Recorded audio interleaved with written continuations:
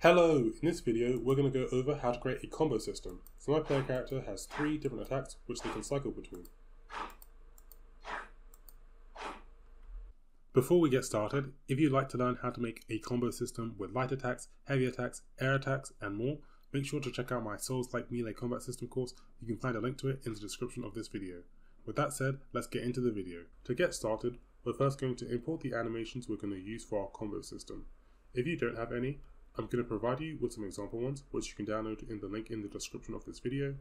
Although, just to be clear, the ones I'm going to use in this video come from a marketplace product, so I can't share them with you. Okay, so if we just right click and create a new folder in our content folder, just call this animations, and then import the animations you want to use for your combo system inside of this folder. When you import the animations for the skeleton, just like the SK mannequin, that's who these animations are made for. So just go import all. Although if your animations are from a, another character, I made a video about how you can easily retarget animations using the latest version of Unreal Engine. I'll put that somewhere on the screen now. Okay, with these animations, so that we can use them, just select all of them, so I'm holding shift on my keyboard and selected all of the animations. Then just right click and go create and go create animation montage. Now for combat animations, they look a lot better if they're root motion animations. So I'll show you what I mean by that. If I just double click and open this up, for this animation, my player character is moving. If we scroll down and just go enable root motion and make sure that this is checked if your character is moving during a combat animation. And what that will do is it will make it so the animation will drive the movement of the character when this animation is playing. And root motion animations normally look a lot better than standing animations in combat systems. So I'm just going to scroll down. And my other two animations aren't root motion, but I'm just going to still enable them.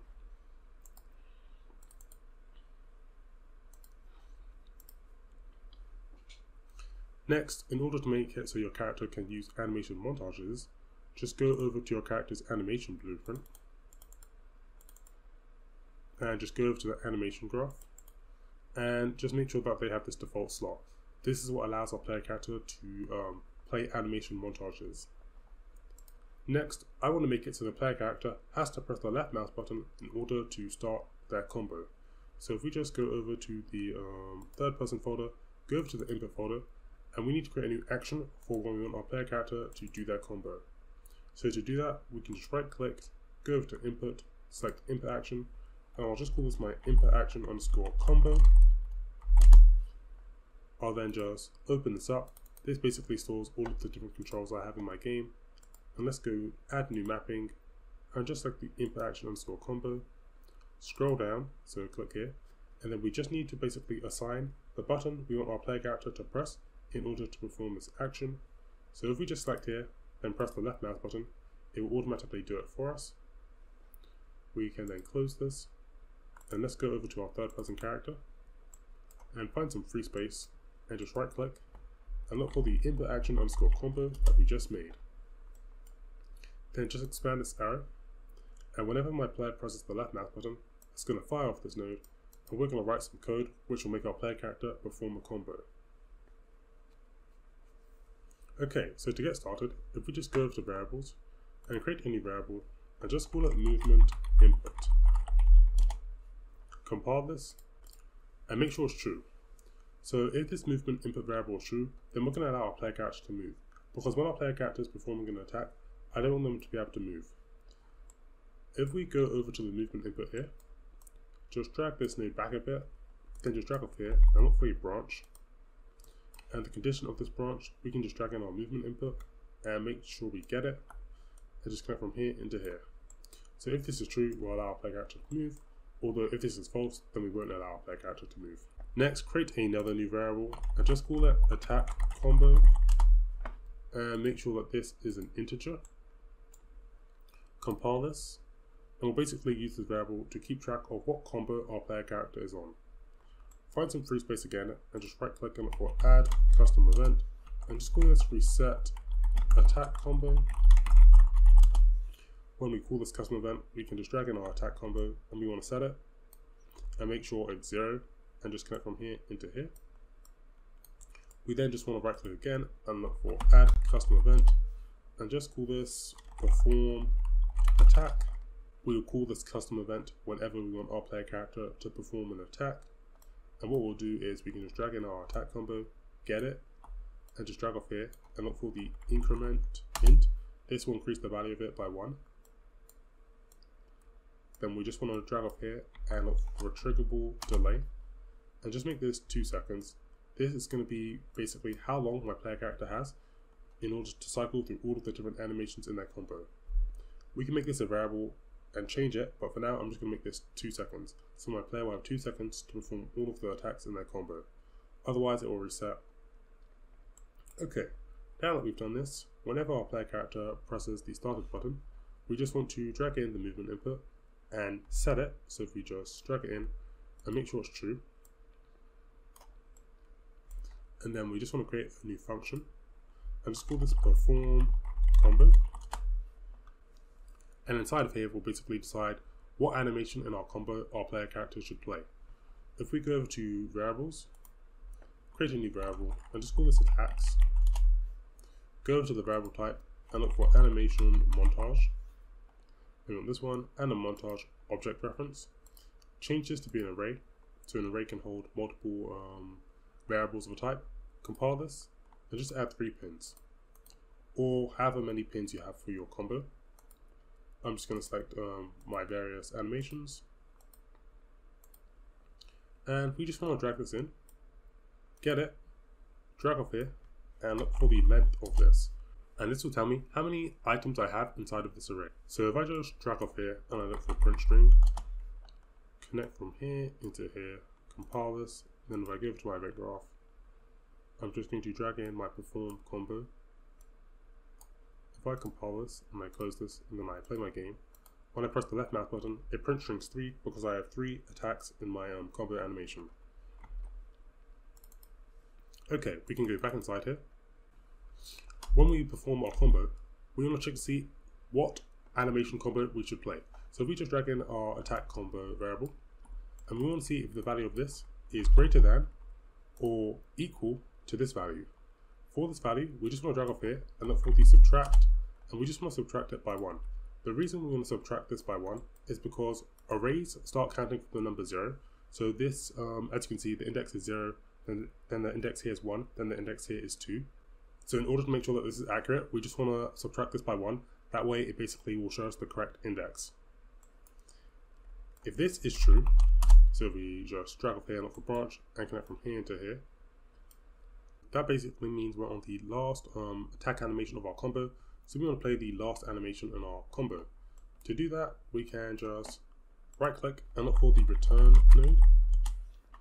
And we just want to add an output and just call this animation. And for the variable type, just make this an animation montage. Select it and select object reference.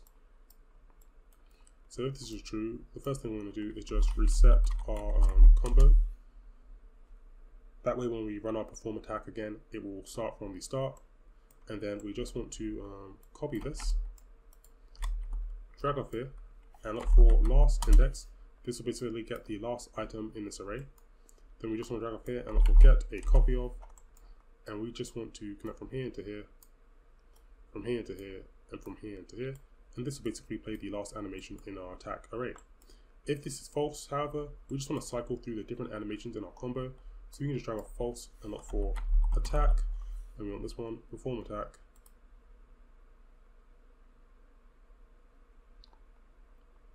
and then so that we play the correct animation, we can just drag in our attacks, drag off here, and look for get a copy of, and we just want to drag in our attack combo, drag off here, and look for subtract, and just subtract this by 1.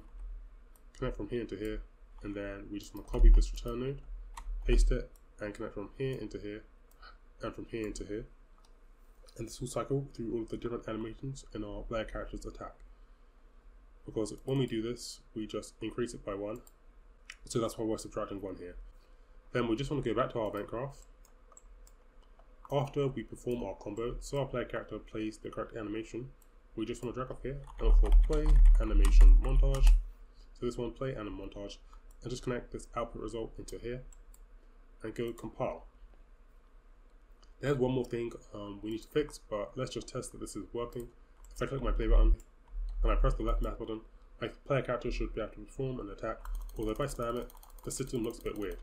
So we need to make it so the player character can smoothly cycle through all of the different animations in the attack combo. If I open up my third person character, when we perform our attack combo, we actually want to just uncheck this so that the player character can't move.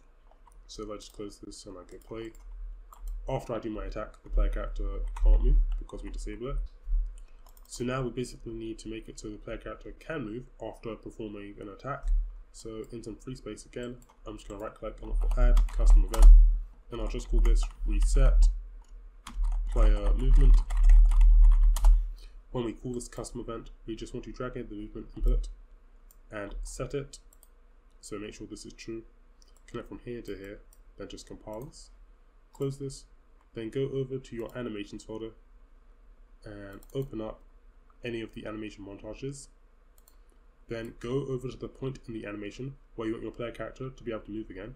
So for me, I want my player character to be able to move again here.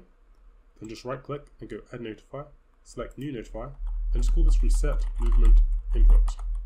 When our player character gets to this point in the animation, we'll allow our player character to move again. Just copy this though, and then we just want to paste it in all of our player characters attacking animations. So around here, I'll reset the movement input. So if I just press Control V, that'll allow me to paste it. And then here, I will paste it. Go over to your character's animation blueprint. A quick way of doing that is we can just click here. Then just go over to the event graph. And we basically need to create a reference to our third person character so that we can call the reset player movement custom event inside of them. So we go over to the AP Mani event blueprint initialize animation. So when we um, set up this animation blueprint, it creates a reference to our character. We just want to get that reference, get it, and drag off here, and just cast to the third person character. This will be valid because our third person character is using this um, animation blueprint. Then we just want to right click on this, promote to the variable, and we can just call this our third person character and in some free space again, just right click and look for the reset movement input animation notify that we set up earlier. When we get to this point in our animation, we can drag in our third person character reference, get them, and just call the reset movement, so the reset player movement, connect from here to here, compile this, then we just want to go back to our third person character and go over to the um, input action attack combo. We just want to drag up here and have a branch. And we want to check to see that the movement input is true. So if we just drag this in, connect from here to here, only if the movement input is true will allow player character to perform their combo. Okay, let's compile and test this out now. So I can click my play button and when I'm spamming the left mouse button, we can see it's just smoothly cycling through all the different animations in my combo. So we have three animations in that combo, but if you want, you can easily have more or less. So now we've created a flexible combo system. If you'd like to learn how to create a combat system where the player character can sheath and unsheath their weapon, perform light attacks, heavy attacks, air attacks, and all types of different attacks, make sure to check out my Souls-like melee combat system course in Unreal Engine. If you enjoyed this video, make sure to like and subscribe, and I'll see you guys in the next one. Bye!